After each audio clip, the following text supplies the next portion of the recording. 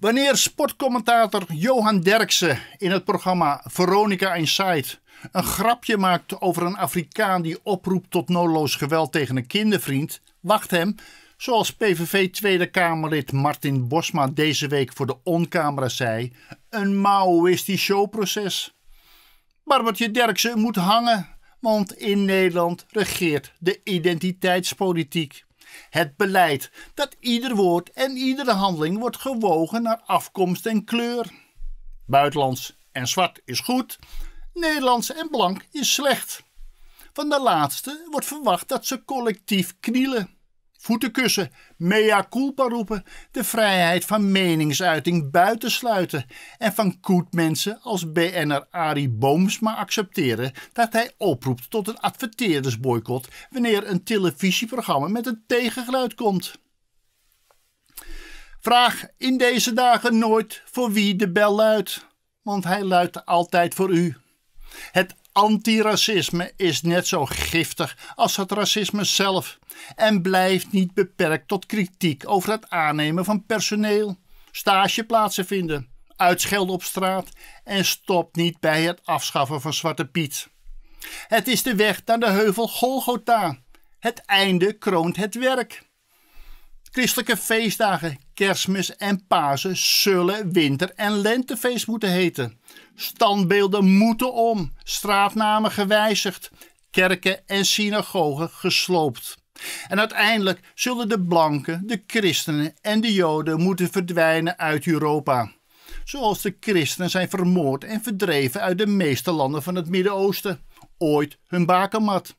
Zoals blanken in Zuidelijk Afrika leven met dagelijkse angst en Joden voor hun veiligheid achter een hoge muur in Israël. In de Verenigde Staten worden, zo leren statistieken, rond de tienmaal meer blanken aangevallen door zwarte dan andersom. Op demonstraties in Parijs scandeerden Black Lives Matter betogers deze maand antisemitische leuzen. In Arnhem is een proces gaande tegen zes verdachten die de grootste islamitische terreuraanslag in Nederland beraamden. De conclusies van de Tweede Kamer mini-enquête over de buitenlandse invloed op moskeeën maakten deze week duidelijk dat met geld uit theocratieën rond de Persische Golf in Nederland radicaal islamitisch gedachtegoed wordt verkondigd, waarin weinig plek bestaat voor andersdenkenden. De politiek plooit intussen als riet in de wind mee. VVD'er eerste minister Mark Rutte sprak afgelopen week met vertegenwoordigers van de zwarte gemeenschap. Hij concludeerde hoe indrukwekkend het is wat racisme kan doen met iemand. Maar hij hield schapachtig zijn mond over zijn eigen verantwoordelijkheid bij dit groeiende euvel in tien jaar premierschap. En hij was weg toen een deelnemer begon over herstelbetalingen, de naheffing op het slavernijverleden. Zo van, uh, mag ik ook even vangen? Want in diens ogen ligt niet alleen de eeuwige schuld bij de blanke Nederlander, maar ook de rekening. Ons land vormt het decor van het boek Onderworpen van de Fransman Michel Houellebecq. Hij beschrijft hoe mensen gehypnotiseerd door de massamedia en uit angst voor verraad en carrière meegaan in hun eigen onderwerping aan een agressieve religie en cultuur. Zo diep het hoofd buigen dat die als een mol in de grond verdwijnt. De Europese Unie gaat al op de knieën voor de dictaturen in Saudi-Arabië en Iran.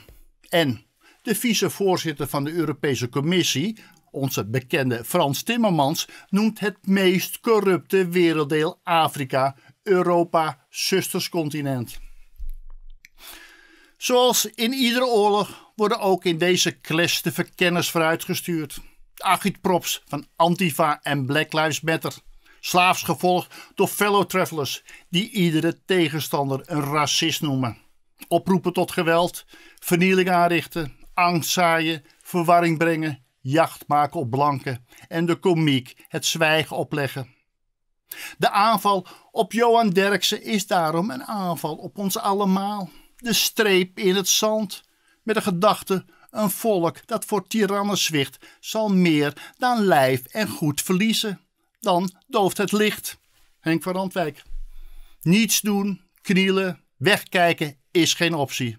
Want zwijgen en de verraders niet ter verantwoording roepen, zo leert de geschiedenis, leidt uiteindelijk, stapje voor stapje, tot de ondergang van ieder volk.